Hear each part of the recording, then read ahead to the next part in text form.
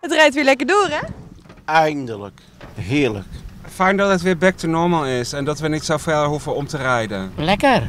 Ja? Lekker vrijdag. Je hoeft niet meer om te rijden. Erg blij. Oké, Oh, dankjewel Oké. meneer. Oh, het is groot. Veel Amsterdammers halen vandaag opgelucht adem. De Weesperknip is na zes weken officieel ten einde. Maar voor bewoners van de Valkenburgstraat betekent het juist dat er weer meer verkeer door hun straat komt. Die hadden de afgelopen tijd juist wat rust. Het was echt eh, een heel groot verschil. Qua geluid, qua drukte, motoren, alles. Moet je kijken, meer dan, hij mag hier 50 kilometer rijden. Tot hier, straks 30. Maar dat komt dus gewoon altijd zo aanschreeuwen. Wat denk je s'nachts? Is dit gewoon een racebaan? Of je nu voor of tegenstander bent, de knip hield de gemoederen goed bezig.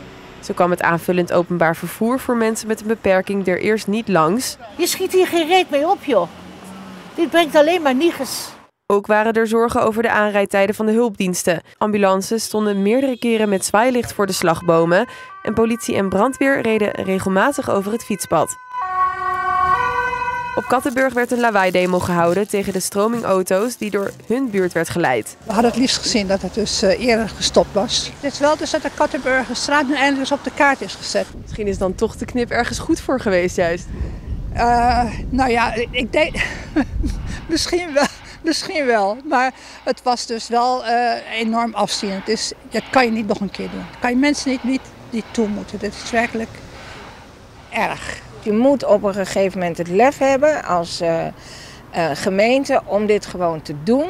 Zodat je cijfers boven water krijgt en opnieuw kan kijken naar de hele situatie. In november kan de gemeente vertellen wat de effecten van de knip zijn geweest. In dat rapport wordt meegenomen hoe het verkeer en hoe de bewoners het hebben ervaren.